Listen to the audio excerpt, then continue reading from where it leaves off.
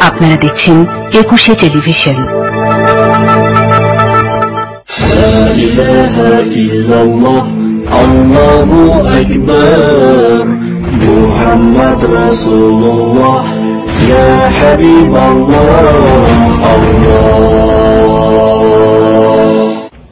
সুপ্রিয় দর্শক, শ্রোতা, শুরু করছি পবিত্র মাহে রমজান উপলক্ষে আমাদের বিশেষ আলোচনা অনুষ্ঠান স্বপ্নের নিবাস সত্যের অন্বেষা।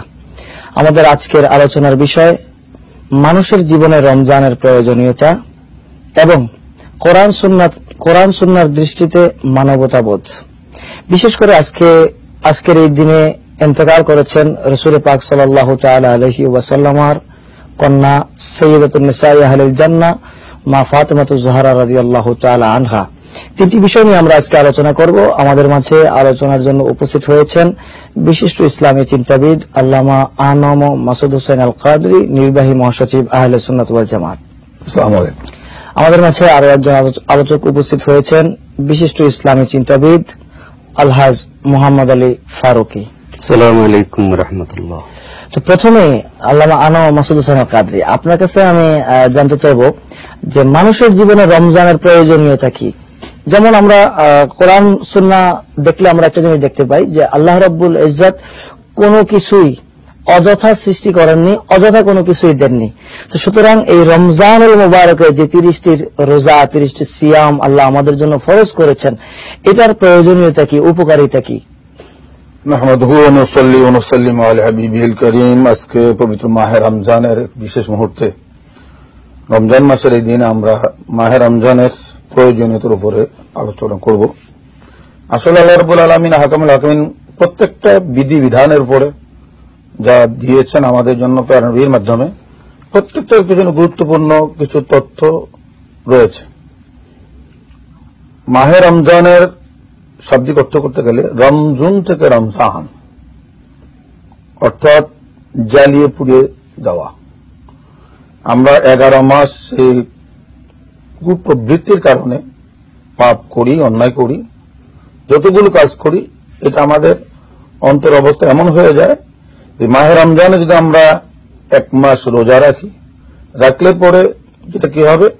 আমাদের নেক আমলের বরকতে সে পাপগুলো জ্বলে পড়ে ছাই হয়ে যাবে। এক। দুই নম্বর হচ্ছে, মাহে রমজানটা আল্লাহ রবুল আলমিন শ্রেষ্ঠত্বের আসন আসীন করেছেন। কোরআন শরীফের মধ্যে কোন মাসের নাম নাই। একমাত্র মাহে রমজানের নাম এসেছে। শাহরুর রমাদান কোরআন। আরেকদিকে আমি যদি লক্ষ্য করি আল্লাহ রবুল আলমিন হাকামুল হাকিমিন এই জমিনের মধ্যে মানুষকে হেদায়তের জন্য যতগুলো কেতাব দিয়েছেন নবী রসুলদেরকে বিশেষ করে চারখানা বড় কেতাব তাওরিদ জবুর ইনজিল কোরআন মাহে রমজানে দিয়েছেন আল্লাহ। মাহে রমজানের তারিখগুলো আমি যদি নির্ধারণ করি মাহে রমজান কিতাব এসেছে জবুর এসেছে ইঞ্জিল এসেছে সর্বশেষ কোরআন কারিম প্যারানবীর উপর এসেছে মাহে রমজানে। যার কারণে রমজান মাসটা শ্রেষ্ঠ। আরেকটা বিষয় আমরা খেয়াল করি মাহে রমজানে আগেও কিন্তু রমজানের বিধানটা অন্যান্য উম্মতের কাছেও ছিল। কুতিবা আলাইকুম সিয়াম আল্লাহ বলছেন তোমাদের জন্য রমজানের বিধি বিধান চালু করা হয়েছে যেমনি ভাবে অন্যান্য তোমাদের পূর্ববর্তীদের উপরে এই বিধানটা ছিল। কুতিবা ফুরিদা নয় এখানে শব্দগত কৌশলগত বিষয় রয়েছে। কুতিবা বলা হয়েছে ফরিদা বলা হয় নাই। ফরজের কথাটা না বলে কুতিবা কেন বললেন? আল্লাহ রব্বুল আলমিন লিখিত জিনিসকে কুতিবা বলা হয়। আল্লাহ রব্বুল আলমিন বোঝাচ্ছেন তোমাদেরকে সৃষ্টি করার আগেই মাহের রমজানের বিধানটা আমি আগেই লৌহে মাহফুজে লিখে রেখেছি। পরবর্তীতে এসে আমি তোমাদেরকে ঘোষণা দিলাম কুতিবা আলাইকুম সিয়াম কামা কুতিবা আলাল্লাযীনা মিন ক্বাবলিকুম লাআল্লাকুম অর্থাৎ আইনটা প্রণয়ন করা হয়েছে আগে ইমপ্লিমেন্ট আসছে পরে। আমরা দেখব মাহে রমজানের যে বিষয়টা মাহে রমজানে মাসে রোজা রাখলে কি হবে? আমরা যখন আমাদের দুইটা জিনিসের সমন্বয়ে মানুষের শরীর দেহ এবং রুহ নিয়ে একটা মানুষ হয়। আমরা যখন আত্মীয় জগতে ছিলাম আমরা খানার মোহতাজ ছিলাম না যার কারণে আমরা গুণাও করি নাই। আমরা যখন রুহের মধ্যে, আমার দেহের মধ্যে রুহুটা ঢুকেছে, এবার আমি খাওয়ার মোহতাজ হয়ে গেলাম। আমি যখন খাই, পান করি, তখন বা আরাম করি, ঘুমোই, তখন আমার কি হয়? আমার শরীরের শক্তি বেড়ে যায়। দৈহিক শক্তি যখন বেড়ে যায়, রুহানি শক্তি কমে যায়। আপনি এক মাস যখন সিয়াম সাধনা করতে গিয়ে, আজকে আমরা মাহে রমজানের রোজা রাখছি বর্তমানে পনেরো ঘণ্টার উপরে।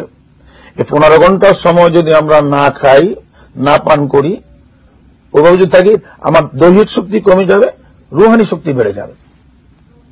এই জন্য এই রমজানের রোজার মাধ্যমে শুধু আমার এই যে খাবার থেকে আমি বিরত থাকলাম সাময়িক কষ্ট যদিও করলাম কিন্তু এটার মধ্যে আমার শারীরিক উন্নতি রয়েছে আত্মিক উন্নতি অর্থাৎ এই রমজানটা আমাকে শিক্ষা দিচ্ছে আত্মসংযম। যেটাকে আমি। আত্মশুদ্ধি। আত্মসংযম এর মাধ্যমে আমি এক মাস থেকে বাকি এগারো মাসের ট্রেনিংটা আমি এখান থেকে নিয়ে নিলাম। এই ব্যাপারে যেমন প্রেরণবী সাল্লাহাম কোন বিষয়ে যেমন কোন একজন ব্যক্তি দেখা গেল যে শারীরিকভাবে খুব পিত আছে আর্থিকভাবে দুর্বল বিয়ে করতে পারে না। প্রেরণবী বলুন তুমি সেখানে রোজা রাখো। জি। অর্থাৎ রোজাটা আমাদের শরীরে এমন একটা কাজ করে যেটা আমাদের শরীরকে কুপ্রবৃত্তির থেকে কন্ট্রোল করতে। সাপোর্ট করে সেহেতু রোজাটা আমাদের জন্য অবশ্যই পালনীয় এবং করণীয়। তো সুতরাং আমরা বুঝতে পারতেছি আপনার কথা থেকে যে আল্লাহ রব্বুল আলমিন এই রোজাটাকে এমনিতেই ফরজ করে দেননি। এটা মানুষের কল্যাণের জন্যই করেছেন। সুতরাং এই রমজানের অনেক উপকারিতা রয়েছে। সংক্ষিপ্ত সময় যদি আমরা আর সামনে যেতে পারছি না।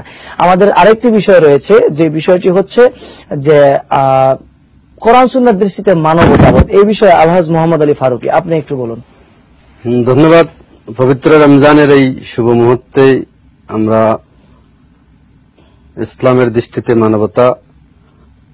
আমরা মনে করি মানবতার মডেল হচ্ছেন আমাদের পেয়ারা নবী মোহাম্মদ রসুল্লাহ সাল্লাহ আলাইসাল্লাম বিশ্বের ইতিহাসের তার অনুপম আদর্শ চরিত্রের মাধ্যমে মানবতাকে, পৃথিবীকে যে মানবতার শিক্ষা দিয়েছেন, সেটা একটা এক্সাম্পল দিলে এই বিষয়টি ক্লিয়ার হবে। যখন আমাদের প্যারা রসুল সাল্লাহ আলাইসাল্লাম বারোই রবি লওয়াল মক্কার সর্বশ্রেষ্ঠ কুরাইশ বংকে আমেনা রদি আল্লাহ তালানাহার ঘরে তশ্রিফ আনলেন। আরবের পতা অনুযায়ী তাকে লালন পালনের জন্য হালিমা রদি আল্লাহ তালানের কাছে দেওয়া হলো। সেখানে আমাদের প্যারা রসুল সাল্লাহ আলাইসাল্লামকে যেমন তিনি লালন পালনের দায়িত্ব নিয়েছেন, পাশাপাশি আরও একটি শিশু তার সেই লালন পালনের দায়িত্বে ছিলেন। আমাদের প্যারা রসুল সাল্লাহ আলাইসাল্লাম হালিমা রদি আল্লাহ তালন তার দুধমার একটি দুধ পান করতেন। আরেকটি দুধ কখনো পান করতেন না। জি আমি আপনার কাছে আসব এই জায়গা থেকে আমাকে ছোট্ট একটি বিরতি নিতে হচ্ছে। দর্শক ছোট্ট একটি বিরতি নিচ্ছি ফিরে আসা পর্যন্ত আমাদের সাথেই থাকুন। ছেলে কি করে? ছেলে মাসাল্লাহ পোল্ট্রি ব্যবসা করে দারুণ সফল। তা বাবা বাচ্চা এবং খাবার কোন কোম্পানি আমার আস্থা একটাই প্রভিটা কোম্পানির উৎকৃষ্ট মুরগির বাচ্চা ও সুষম খাবার। ও প্রভিটা? বাবা আমি রাজি। আলহামদুলিল্লাহ। আমার খামারে প্রভিটা ফিড খামারি আমার super Provita feed and hatchery দর্শক আমাদের সাথে থাকার জন্য অসংখ্য ধন্যবাদ।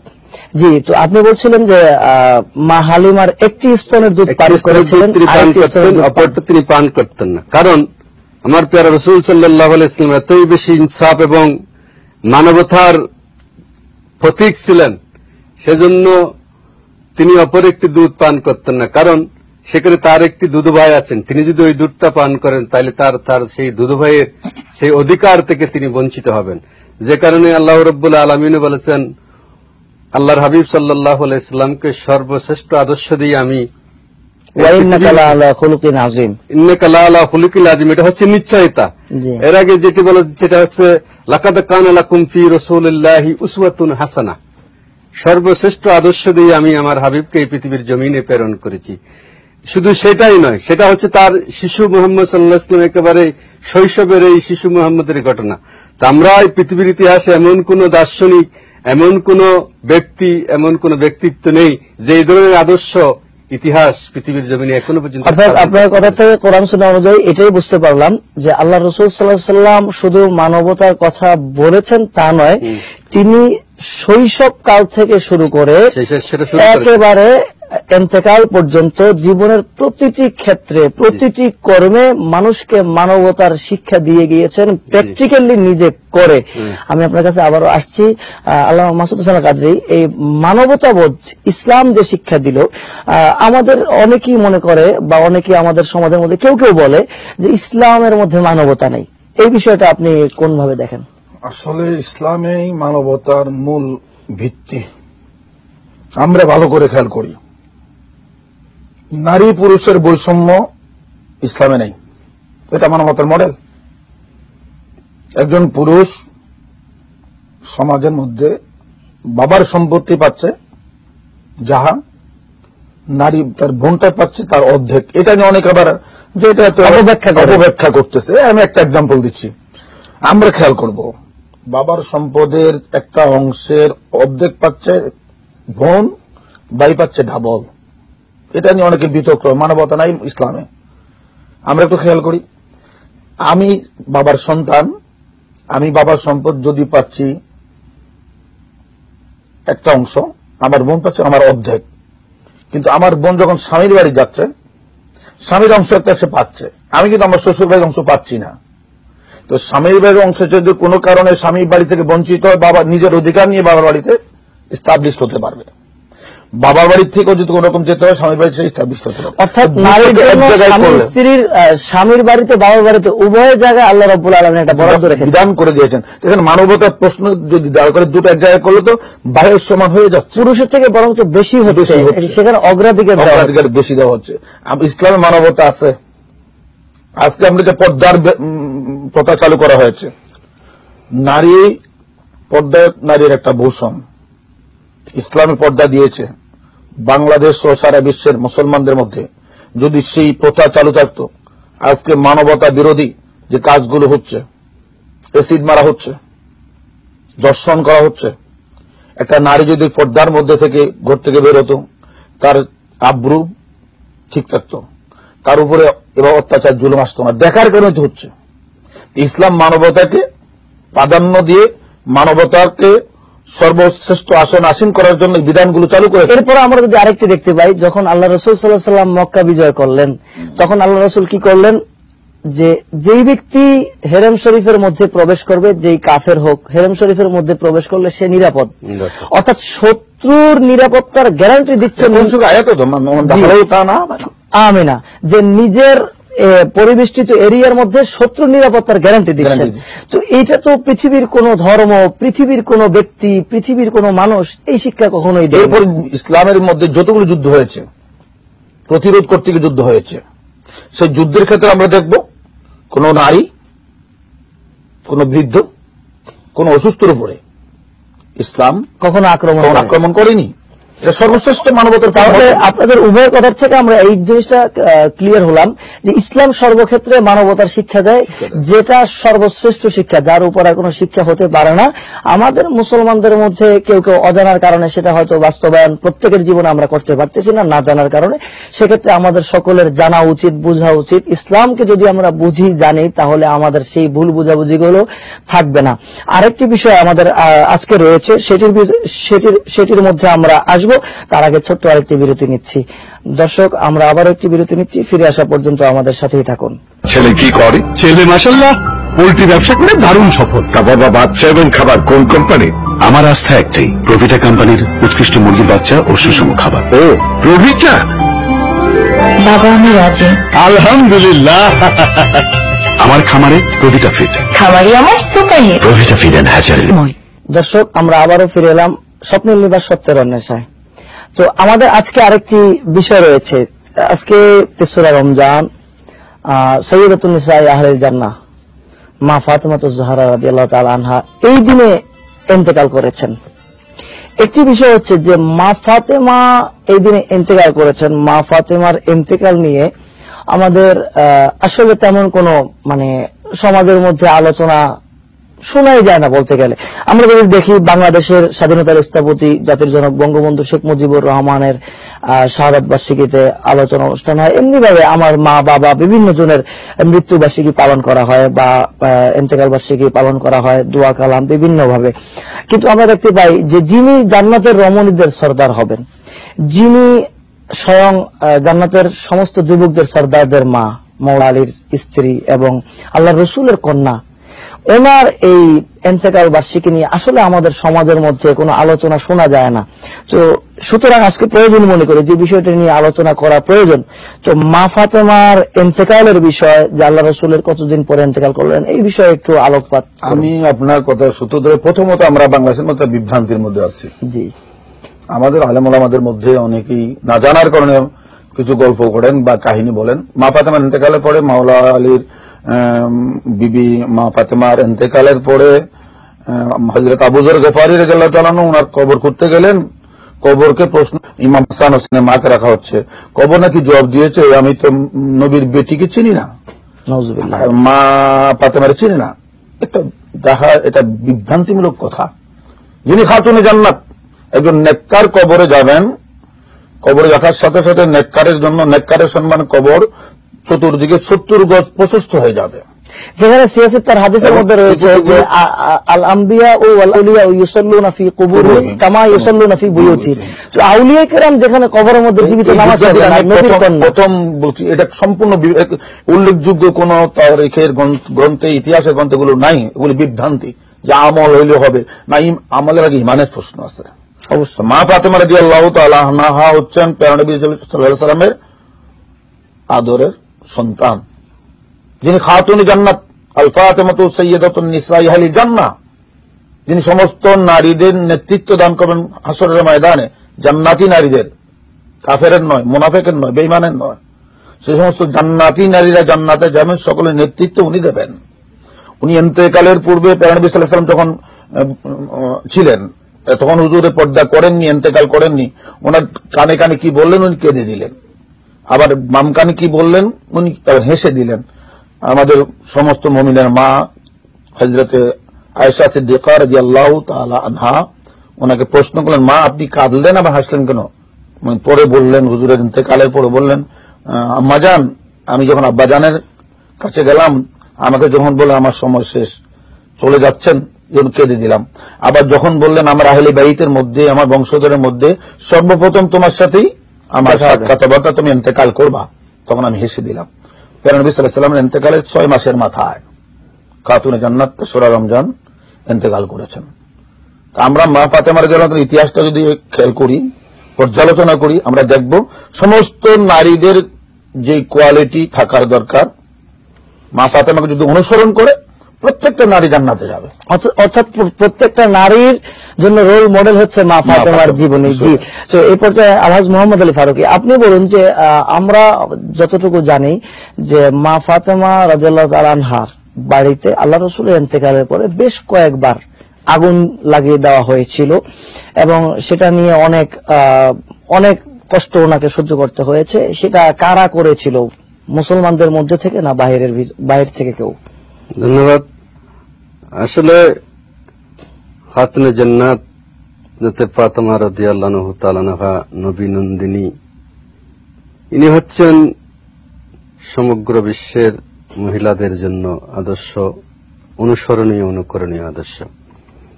তো তিনি আল্লাহর হাবিবের দুনিয়া থেকে পর্দা করার পর ইসলামের নামের, ইসলামের যারা, মূলত যারা ইসলামকে ব্যবহার করে ইসলামের মধ্যে ফেতনা সৃষ্টি করে তারাই মূলত এই যারা রসুল্লাহর সাথে মুনাফেকি করেছিল মুনাফিকি করেছিলেন। তারাই তারাই এই ধরনের কর্মকাণ্ডগুলি করে মুসলমানদের মধ্যে বিভেদ সৃষ্টি করার এবং আল্লাহ রসুলের। সামনে যারা গোস্তাকি করেছিল যারা রসুলের সামনে এসে বলেছিল যে আমরা আপনার উম্মত। পিছনে গিয়ে বলেছিল যে আমরা মোহাম্মদের সাথে নাই। ওই ধরনের মুনাফিকদের দ্বারা এই জাতীয় কাজগুলি হয়েছে। তো যুগে যুগে এই মুনাফিকরাই ইসলামের সবসাইতে বেশি ক্ষতি করছে। যেটা একটা হাদিস শরীফও আছে যে তাদের লেবাস সুরত দেখলেই তোমরা মনে করবে যে তোমাদের এবাদত কিছুই না। অথচ আল্লাহ রসুল বলছেন যে তাদের যতই যারা যতই কিছুই করুক তাদের এবাদতের মূল ভিত্তি হবে এইরকম যেমন তীর নিক্ষেপ করলে তীর ভেদ করে মানুষ বা তার লক্ষ্যবর্ত ব্যস্ত তীর চলে যাবে তার মধ্যে কোনো কি লাগবে না। রক্ত স্পর্শ করবে না। স্পর্শ করবে মূলত বাহির তাদের এগুলি সব হচ্ছে দেখানো দেখানো লৌকিকতা। ইসলাম তো লৌকিকতার কোন স্থান নেই। স্থানে যেটা করতে হবে মন থেকে আমাদের সময় একেবারে শেষ পর্যায়ে চলে এসেছি। তো আপনার কথা থেকে আপনাদের উভয়ের কথা থেকে যেটা বুঝতে পারলাম যে মাফাতেমা এমন একজন ব্যক্তি যাকে সকল মহিলাদের ফলো করা উচিত। আর দ্বিতীয় নাম্বার হচ্ছে মা ফাতেমাকে যারা আক্রমণ করেছিল এরা রসুল্লাহর সঙ্গে মুনাফিকি করেছিল আর এদের উত্তরসূরি অনুসারী এখনও পর্যন্ত আছে কিয়ামত পর্যন্ত থাকবে। তাদের থেকে আমাদেরকে সতর্ক থাকতে সতর্ক হবে থাকতে আপনাদের হবে। উভয়কে আজকে আমাদের এই স্টুডিওতে সময় দেওয়ার জন্য অসংখ্য ধন্যবাদ আপনাকে ধন্যবাদ দর্শক আহ, আমাদের সঙ্গে এতক্ষণ থাকার জন্য আপনাদেরকে অসংখ্য ধন্যবাদ জানিয়ে আজকের জন্য বিদায় নিচ্ছি আগামীকালকে একই সময় আবার আমাদের অনুষ্ঠান দেখার আমন্ত্রণ জানিয়ে আপনাদের থেকে বিদায় নিচ্ছি আসসালামু আলাইকুম রহমতুল্লাহ বারাকাত لا إله إلا الله الله أكبر محمد رسول الله. يا حبيب الله الله.